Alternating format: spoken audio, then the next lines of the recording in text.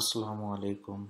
প্রিয় শিক্ষার্থীবৃন্দ, textile wet processing one কোর্সে আমি তোমাদের সবাইকে স্বাগত জানাচ্ছি। শুরুতে আমি তোমাদের জিজ্ঞাসা করব না যে তোমরা কেমন আছো, কারণ আমি জানি এই মুহূর্তে তোমাদের কাছ থেকে আমি কোনো উত্তর পাবো না।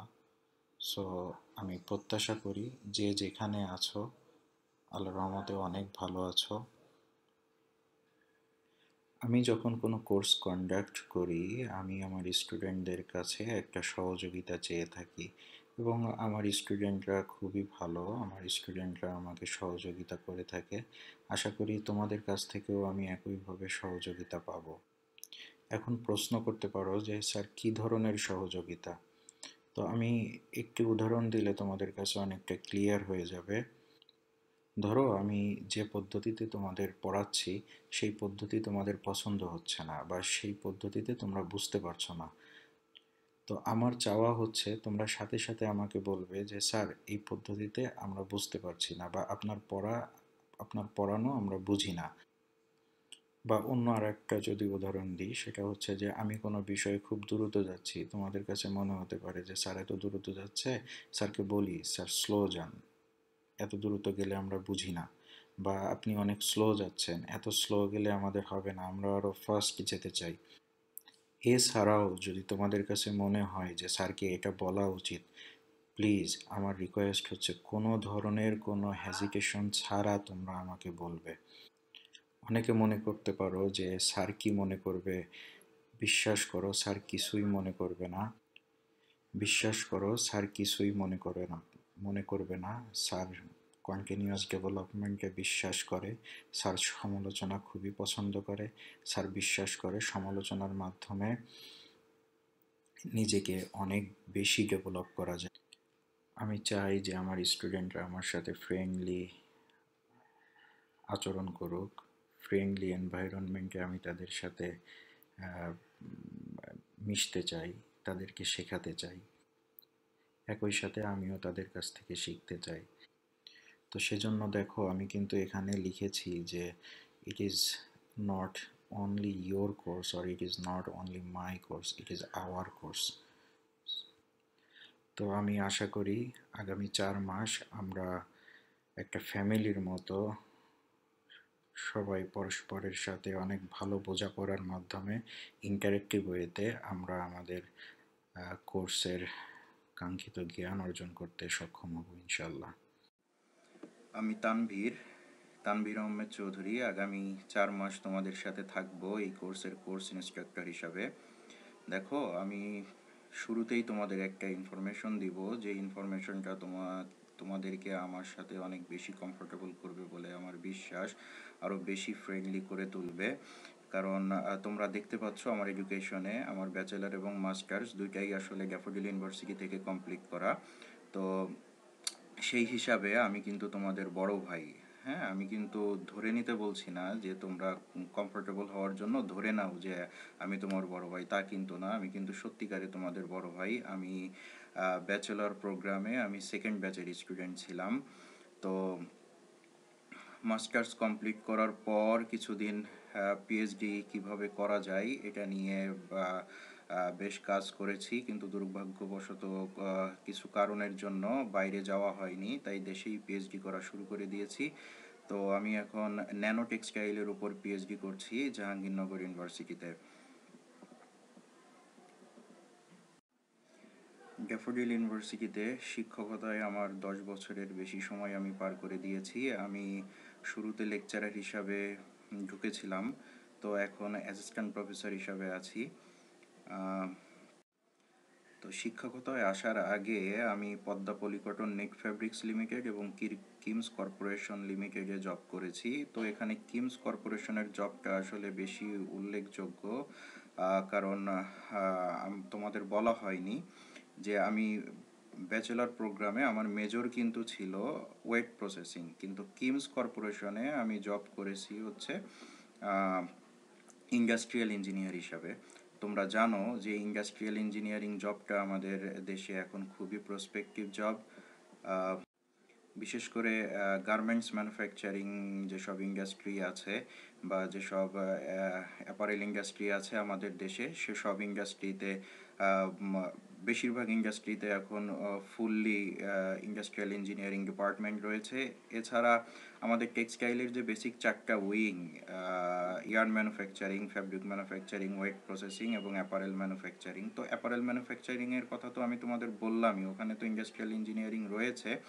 তো আদার্স যে তিনটা ভাগ রয়েছে আমাদের, তিনটা বেসিক উইং রয়েছে, সেখানেও ইন্ডাস্ট্রিয়াল ইঞ্জিনিয়ারিংয়ের অ্যাপ্লিকেশন খুব একটা নেই, কিন্তু ইদানিং দেখা যাচ্ছে কিছু ডাইং এবং কিছু নিটিং ইন্ডাস্ট্রিতে ইন্ডাস্ট্রিয়াল ইঞ্জিনিয়ারিং ডিপার্টমেন্টটা চালু করার চেষ্টা করছে মালিকরা। আজ আমি আমার জব নিয়ে খুব বেশি বলব না, আমি আস্তে আস্তে তোমাদের সাথে শেয়ার করব আমাদের পরবর্তীতে বিভিন্ন ক্লাসে একটু একটু করে আমি অনেক মজার মজার এক্সপিরিয়েন্স তোমাদের সাথে শেয়ার করব। তো আর একটা ইনফরমেশন দিয়ে রাখি আমার সম্পর্কে, সেটা হচ্ছে যে আমি এখন আমাদের ডিপার্টমেন্টের এমএসসি প্রোগ্রামের প্রোগ্রাম কোঅর্ডিনেটর হিসাবে কাজ করছি। তো এরপর আমি, দেখো, এই লাস্টে তোমরা ডান দিকে যে, যেই পোর্শনটা দেখতে পাচ্ছ কন্ট্যাক্ট ইনফরমেশন এটা কিন্তু খুবই গুরুত্বপূর্ণ। এখানে তোমরা দেখতে পাচ্ছ আমার ফোন নাম্বার তো ফোন নাম্বার দিয়েই আমি শুরু করি। ফোন নাম্বার এই যে যে ফোন নাম্বারটা দেয়া আছে, এই ফোন নাম্বারে তোমরা যে কোনো সময় আমার সাথে কন্ট্যাক্ট করতে পারো। কোনো ধরাবাধা নিয়ম নেই, কোনো রেস্ট্রিকশন নেই যে এই সময়ে তুমি ফোন দিতে পারবে, এই সময়ে তুমি ফোন দিতে পারবে না। তোমার যখনই মন চাইবে, তোমার যদি মনে হয় যে এই প্রবলেমটার জন্য স্যারকে এই মুহূর্তে ফোন দেওয়া যেতে পারে, সাথে সাথে তুমি আমাকে ফোন করবে। কোনো ধরনের কোনো হেজিটেশন ছাড়াই তুমি আমার সাথে কন্ট্যাক্ট করবে। এছাড়া তুমি যদি মনে করো যে না, স্যারকে সরাসরি আমি কথা বলতে পারছি না বা ফোনেও স্যারকে আমি সরাসরি বলতে পারব না, স্যারকে লিখে জানাতে হবে। তো ফাইন, কোনো প্রবলেম নেই, তুমি আমাকে মেল করতে পারো বা তোমাদের আমি বলে দিব যে আমাদের যে ব্লেন্ডেড লার্নিং সেন্টার রয়েছে, মডুল ক্লাসরুম, সেখানেও পার্টিকুলার জায়গা রয়েছে আমার সাথে তোমার বিভিন্ন ইস্যু শেয়ার করার। এছাড়া গুগল ক্লাসরুমেও তুমি আমার সাথে শেয়ার করতে পারো, যদি সরাসরি আমাকে তুমি মুখে না বলতে পারো। আর আমি টেক্সটাইল ইঞ্জিনিয়ারিং ডিপার্টমেন্টের যে সিক্স ফ্লোর আমাদের মেইন বিল্ডিংয়ের ওখানেই বসি। তো ওখানে সাতশো দশ নম্বর রুমে গেলে তোমরা আমাকে পাবে। চলো তাহলে এবার তোমাদের কোর্স সম্পর্কে কিছু কথা জানা যাক।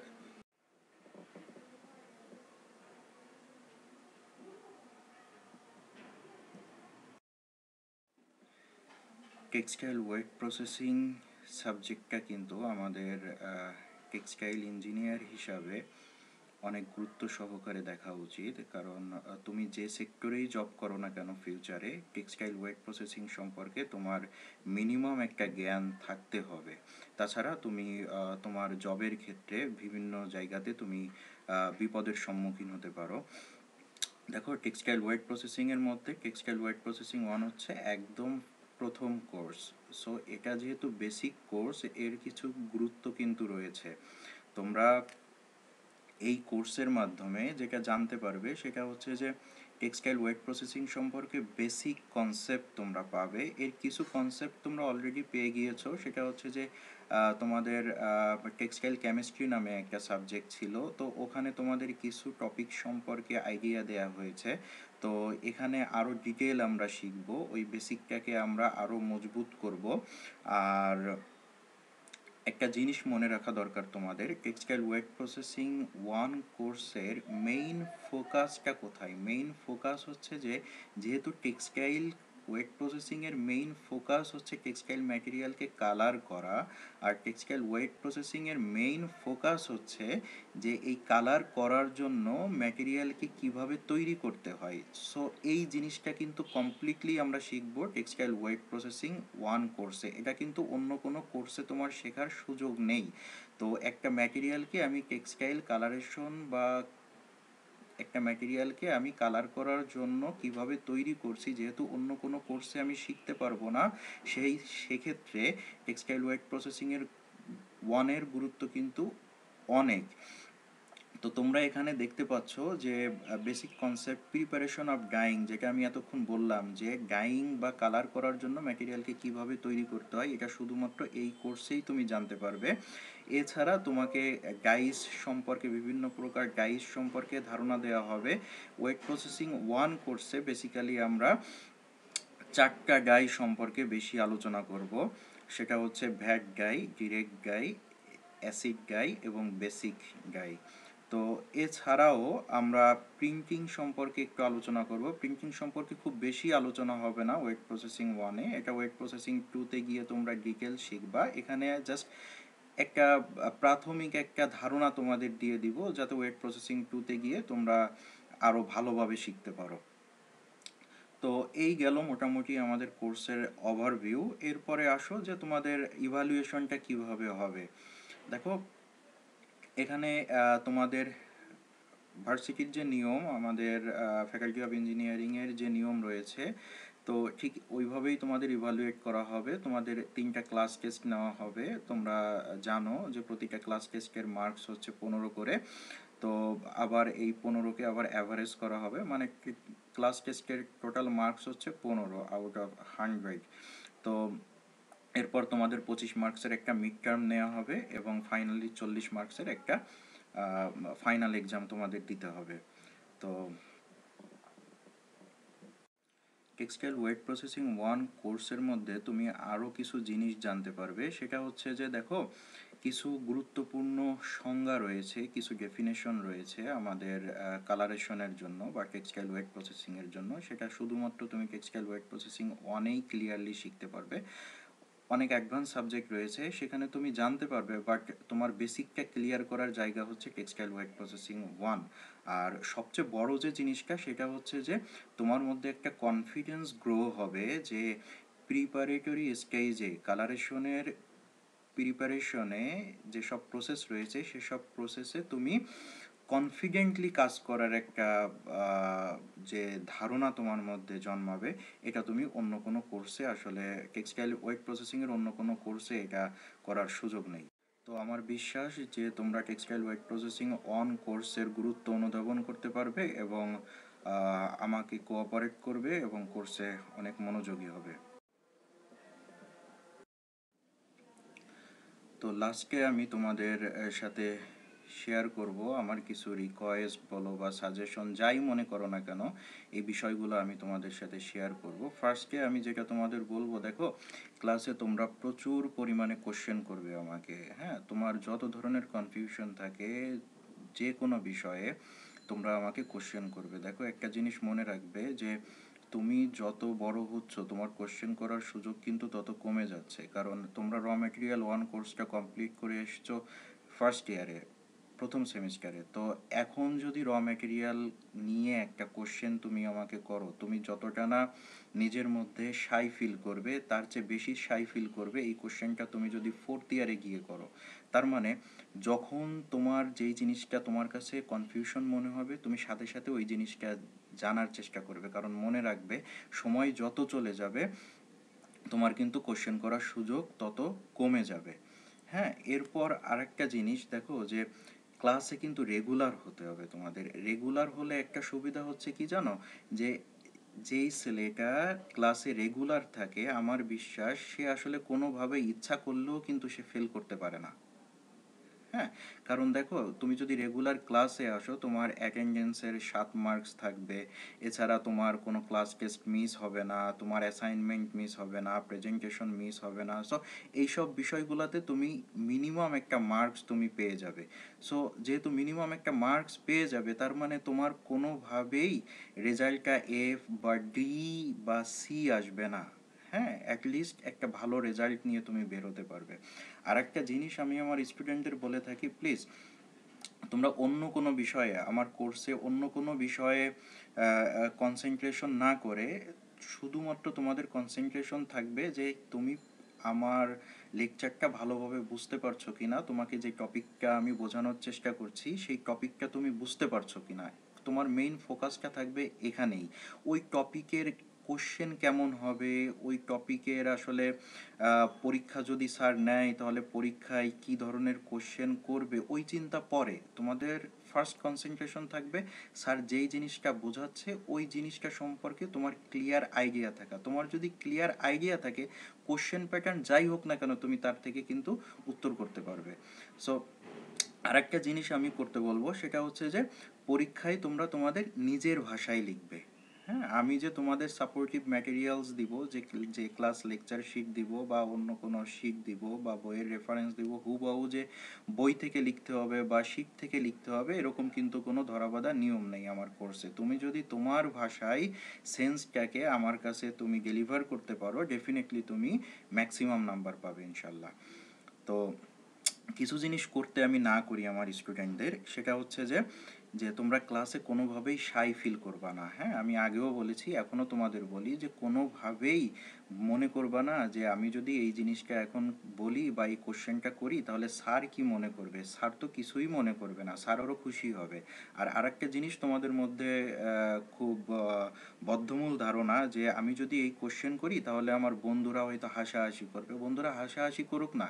কারণ তুমি শিখতে আসছো, তুমি তোমার ক্যারিয়ার গড়তে আসছো। দেখো, যেই বন্ধুরা এখন হাসবে, এই বন্ধুরা কিন্তু তোমার ক্যারিয়ারের দুঃসময় এই বন্ধুরা কিন্তু কোনো কাজে আসবে না। হ্যাঁ এটা আমি খুবই একটা কঠিন কথা বলে ফেললাম, কিন্তু ম্যাক্সিমাম ক্ষেত্রে এই সিনারিটাই দেখা যায়। সো আমার সাজেশন হচ্ছে জানার ক্ষেত্রে তুমি কোনো কম্প্রোমাইজ করবে না। হ্যাঁ যখনই যেটা মনে হবে, সাথে সাথে টিচারকে বলে দিবে যে, স্যার, আমি এটা বুঝতে পারছি না। হ্যাঁ আর আমি তো আগেই বলেছি যে কোশ্চেন প্যাটার্ন নিয়ে তোমরা টেন্সড হবা না। কোশ্চেন যাই হোক না কেন, তুমি উত্তর করতে পারবে। যদি তোমার টপিকটা সম্পর্কে ক্লিয়ার ধারণা থাকে। সো এটা নিয়ে টেন্সড হওয়ার কোনো কারণ নাই। তোমার সম্পূর্ণ টেনশন থাকবে যে কীভাবে তুমি পার্টিকুলার টপিক বুঝতে পারবে। বাকি সব টেনশন তুমি টিচারের মাথায় দিয়ে দাও যে টিচার কীভাবে কোশ্চেন করবে টিচার কারণ কোশ্চেন তো টিচার এমনভাবেই করবে যাতে তুমি উত্তর করতে পারো, কারণ টিচার তোমাকে শেখাচ্ছে টিচারের একটা রেসপন্সিবিলিটি আছে। সো এই যত ধরনের টেনশন সব টেনশন তুমি টিচারকে কনভার্ট করে দাও। তোমার টেনশন শুধুমাত্র নিয়ে নাও যে তুমি কীভাবে বুঝবে মূল বিষয়টা। হ্যাঁ? আর ক্লাসে লেট করে আসবে না, এটা আমার রিকোয়েস্ট কারণ হচ্ছে যে, যেহেতু এটা ইঞ্জিনিয়ারিং সাবজেক্ট আমরা একটা পার্টিকুলার বিষয় শুরু করলে মাঝখান থেকে কিন্তু ওই টপিকটা ধরতে আমাদের অনেক কঠিন হয়ে পড়ে। সো আশা করি যে তোমরা ক্লাসে কেউ দেরি করে আসবে না। আর লাস্টে যেটা, এটা কিন্তু এটা অনেক গুরুত্বপূর্ণ, সেটা হচ্ছে যে, আমার সাথে যে কোনো মাধ্যমে কন্ট্যাক্ট করার ব্যাপারে কোনো ধরনের কোনো হেজিটেশন রাখবা না। হ্যাঁ এটা হচ্ছে আমার আর্নেস্ট রিকোয়েস্ট টু ইউ কারণ হচ্ছে যে, আমি কখনোই বিরক্ত বোধ করি না। আমার স্টুডেন্টরা আমার কাছে যখনই কোনো প্রবলেমে আসে বা যে কোনো জিনিস শেয়ার করতে আসে, আমি কিন্তু অনেক খুশি হই। কারণ দেখো টিচার হয়ে এসছি। ইন্ডাস্ট্রির অনেক লোভনীয় আমি এই জিনিসটা বলেই ফেললাম যে ইন্ডাস্ট্রির অনেক লোভনীয় অফার ছেড়ে টিচিংয়ে এসছি শুধুমাত্র কিন্তু স্টুডেন্টদের বেটারমেন্টের জন্য। হ্যাঁ একটা সুন্দর লাইফ লিড করব বলে হ্যাঁ? তো স্টুডেন্টদের ভালোবাসা পাবো বলে স্টুডেন্টদের কিছু শেখাতে পারব বলে। সো তোমাদের জন্য আমার দরজা সব সময় খোলা। তোমরা যে কোনো সময়, যে কোনোভাবে আমার সাথে তোমরা কন্ট্যাক্ট করবে।